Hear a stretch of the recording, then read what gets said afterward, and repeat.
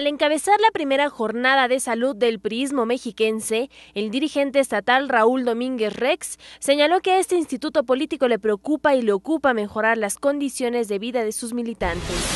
No nada más es una cuestión de, de revisión eh, física, sino también mental. Buscamos eh, acercar la salud a la gente que trabaja permanentemente en el Comité Directivo Estatal. Mediante conferencias, activación física, servicios médicos generales, odontológicos, oftalmológicos y medicina exploratoria, inició esta primera jornada que busca generar entre el priismo la cultura de la prevención en la salud.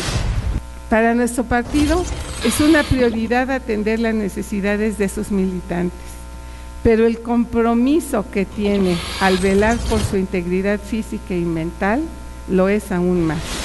Elena Lino Velázquez, secretaria de Gestión Social del PRI estatal, resaltó la importancia del cuidado de la salud mental, la cual impacta directamente en la salud física. ¿Sabías que actualmente en México se come más pero menos comida de calidad? Se hace menos ejercicio, se consume más alcohol, tabaco y drogas.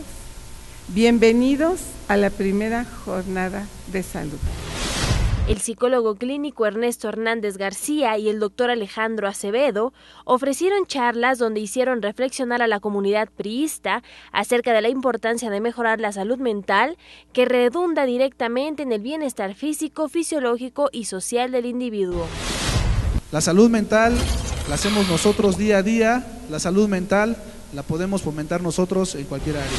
Para poder mantener en buen estado su organismo, poder vivir más, poder hacer todas esas funciones que, que tenemos a diario, poderlas hacer de la, de la mejor forma.